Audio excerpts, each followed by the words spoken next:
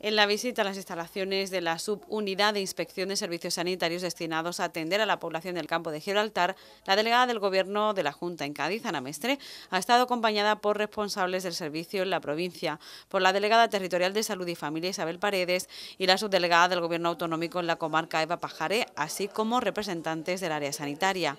Tras ver las dependencias, Mestre ha destacado el hecho de que de esta manera la comarca va a contar con una unidad de inspección conformada por un equipo de profesionales destinados a valorar las distintas incapacidades temporales y la prevención en riesgos laborales, entre otras competencias con las que se irá dotando a esta inspección médica.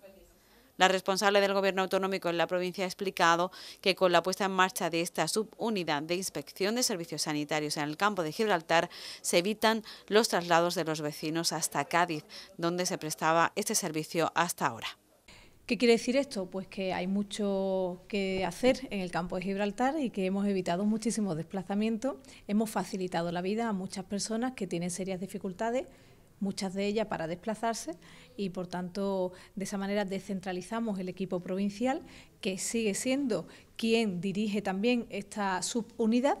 pero que con plenas competencias, como tiene esta en la subdelegación del Gobierno, como estamos hoy presentando, podrá trabajar coordinadamente con el equipo provincial. Desde octubre, cuando la inspección comenzó su andadura en la primera planta de la subdelegación de la Junta en la calle Ancha, han sido atendidas hasta la fecha 600 personas de los más de 87.000 usuarios previstos en el campo de Gibraltar.